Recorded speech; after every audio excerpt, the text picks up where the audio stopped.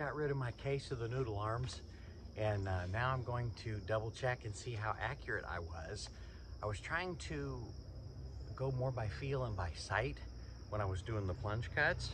So now I'm gonna take the uh, template that I drew around on the other side, I'll turn it around and try to place it on this side according to where the plunge cuts came through and see how I did.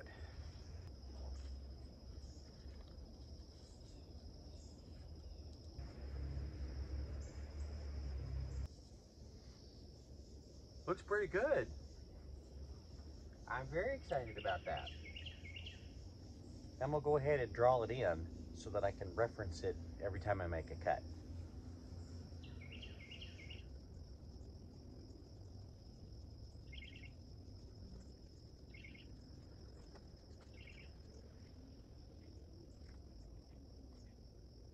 I've learned after I move my hand and the uh, template falls down on me that I need to go back and reset it and make sure it's okay. Because sometimes just the weight of the template will cause it to skew a little bit. So looks good though, came out okay.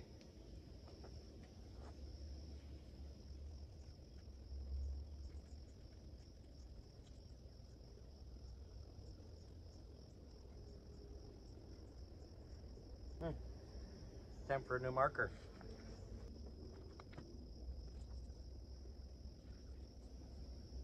A pencil will do just fine.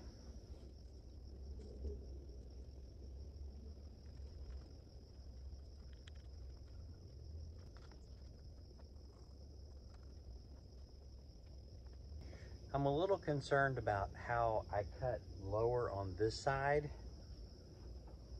than on this side when trying to start the base. But we'll do a design adjustment. I'll smooth it out on both sides, round it out, and it should look great. I'm gonna finish blocking out from the nose, around the front of the face, down the front of the paw to the base of the platform, the rest of the platform, and then hopefully this whole chunk right here will just fall out.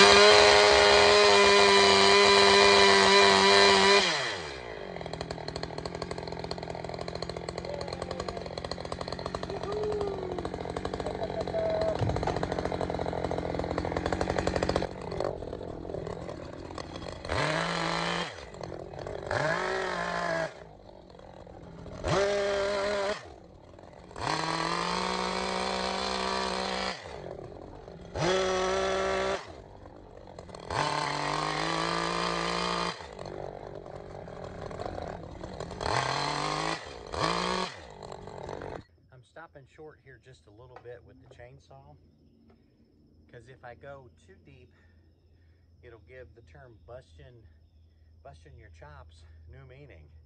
And I don't want to do that. So I've got an old chisel here. I'm going to see if I can whack it loose. Look at that. Yay.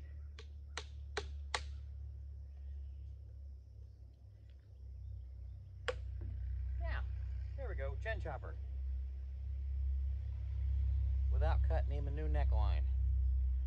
Let's talk about the next couple of potential plunge cuts that I'm not going to make just yet, but I'll tell you why.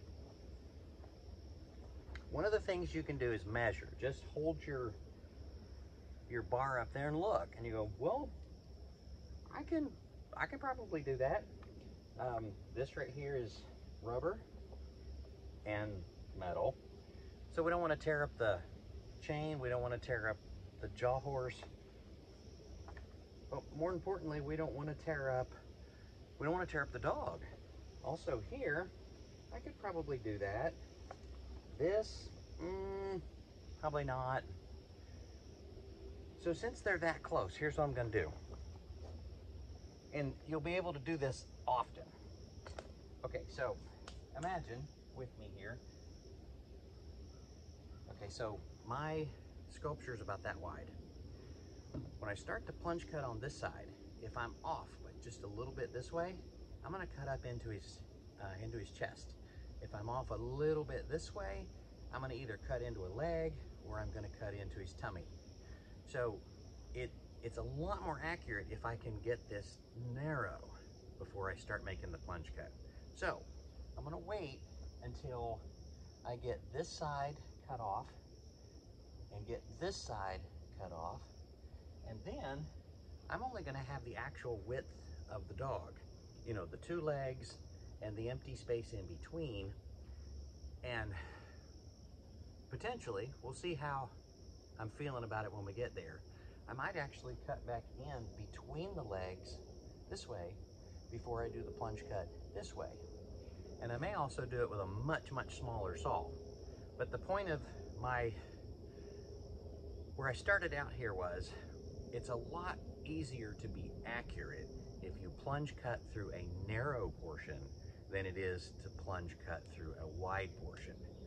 You just, once you get your saw in there, you, you learn this way, this way, where am I at? How does it feel? You stop and check, you stop and think, you stop and feel about it. But it's still, if you're off by just a little bit, you could cut an inch of something else off. So if it's close, switch to a smaller saw and switch to a much more narrow spot and just to a narrow spot if you don't have another saw. And your accuracy is gonna go way up. I have two templates here. One is from the top of a well-proportioned um, concrete statue. And the other is the face-on view of uh, Mr. Cooper here that I'm getting ready to uh, detail in. Now, I presume, based on the pictures that I got, that while his owner was trying to take a picture down on top of his head, he was like going, hey mom, what are you doing? Because he kept looking up at the camera is what it looked like from the picture. So rather than uh, ask her to try to take a bunch more pictures, um, I can compensate and still be accurate with using this and this. And then I've matched it up to the size of his nose. Um, oh, it's off a little bit. I'm gonna have to go work on this some more. So I tried to match up this, the width of his nose and then down here further, oh, that's pretty good. The width of his muzzle. And then it's interesting that uh, the width of the ears was substantially different from the sculpture to the actual dog. Uh, of course, every dog is different. And so in order to try to make it look like that breed and that dog, you're gonna have to modify to get the details right. Now, um, I always start big and work my way down because there's always room to cut more off. And of course you can overdo this, and I have in the past, and it's taken me, you know, three, four times longer to do the sculpture than I can do it now. But it's a matter of caution. I don't want to cut off something that should be there, right? So I'm gonna go with the, the bigger dog. Now, on the sculpture, what I noticed is that the ears actually stick out wider than the hips. How cool is that? So when I get the head situated, I'm literally going to cut this, I do the blocking straight down. make a little room for the tail on this side. And then I know I've got to come in some more. But I can't go wrong if I go tips of the ears and straight down. Especially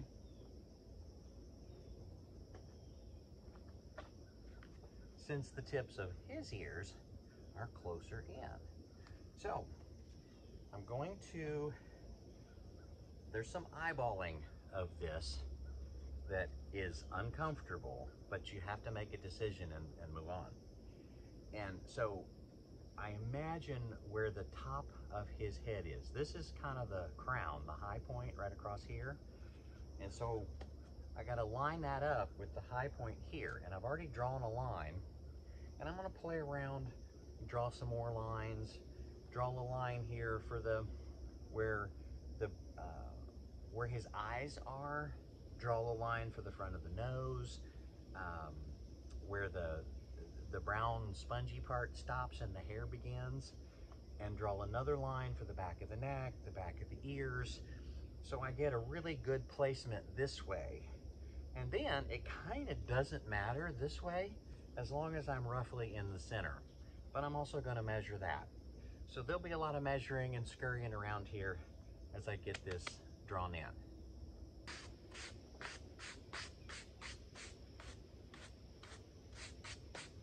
A good stiff brush is a great tool for the chainsaw carver. Uh, help you uh, not tear your hands up and it'll help get all of the stuff out of the way. Because when you start trying to write, whether you've got chalk or pencil or marker, the dust all gets in the way.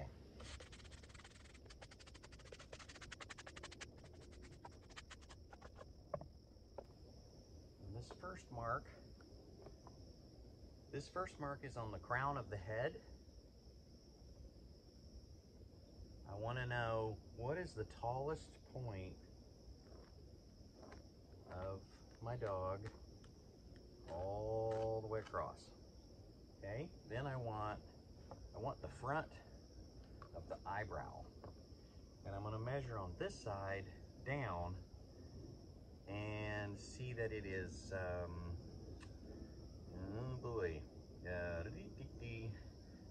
well, I'm not even gonna try to get a measurement, but it's to this line here. And my point is that line needs to line up over here so that when I press this down hard, I'm getting parallel lines.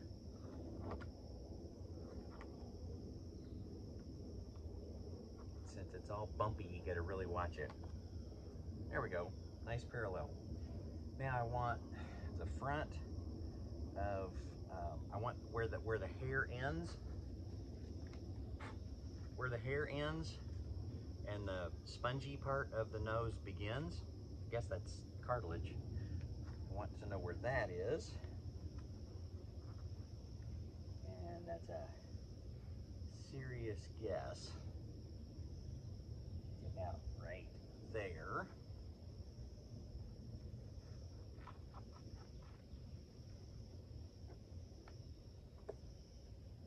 Then, let's see, I want, actually that's good, that's all I need.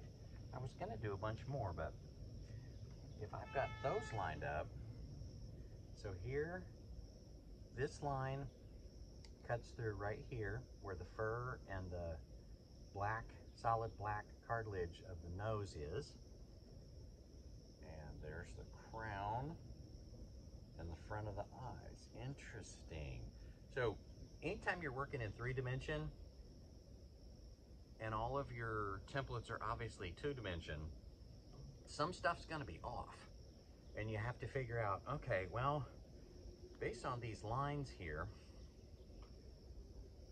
it would make, I would need a bigger template to line up with these lines. So I'm gonna kind of take an eyeball it average and scoot it back just a little bit, about, oh, that's probably too much. And they come forward, because I'm really concerned that the, the eye line, this, this line right here, where the eyes drop straight down, they're mostly looking forward, but slightly to the side. I want that to be right so that my muzzle's not too short. I can always shorten it, but you can't make it any longer. So bear in mind that. I'll try to get it.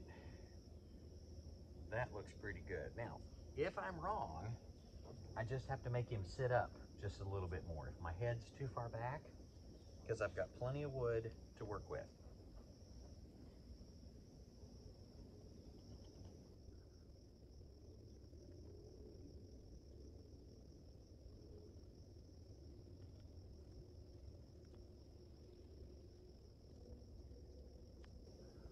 Okay, that's not too bad.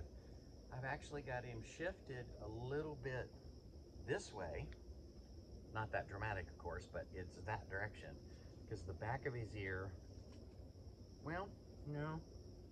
Because the top piece here is wider and then it goes more narrow, so it would naturally fall to the back. It's gonna be okay. So let's verify a couple of things.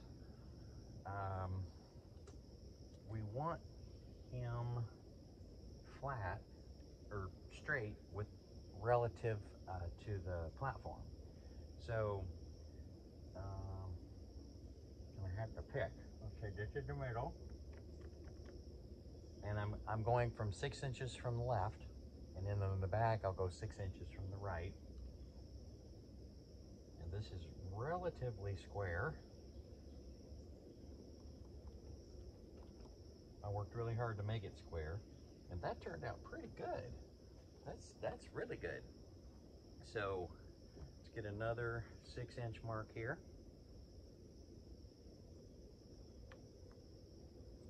Keep coming.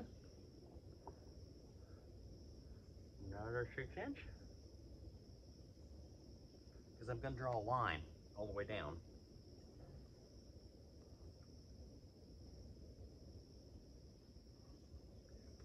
I got to draw it in a bunch of places because it's hills and valleys. Mm, let's see. I'm going to need another one right there. And then I'll draw this line.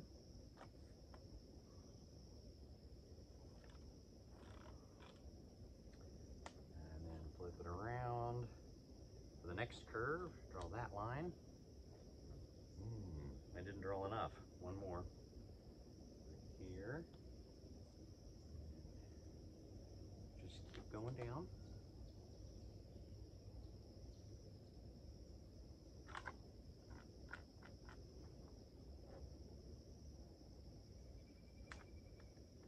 All right, now I've got a good idea of where my middle is all the way down. And the reason for doing that is now I can measure out to the end of each ear. I can say, okay, I got three and a half inches here from the middle. I've got three and a half inches here to the middle. So I'm gonna cut this seven inches wide all the way down on this side to the platform. So I'll cut all the way down and cut in and just remove this piece. Over here, I'll cut almost all the way down. I'm gonna leave a little space for the tail and cut in, remove that piece. Then that's that'll be the maximum width of the sculpture.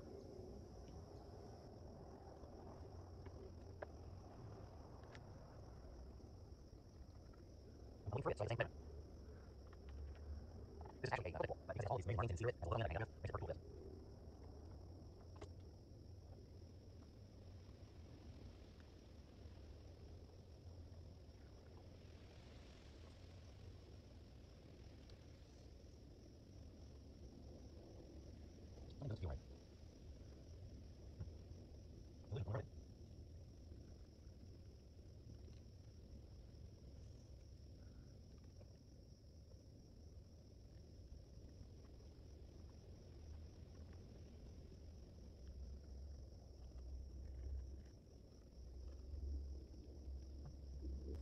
there's my cut line on the left.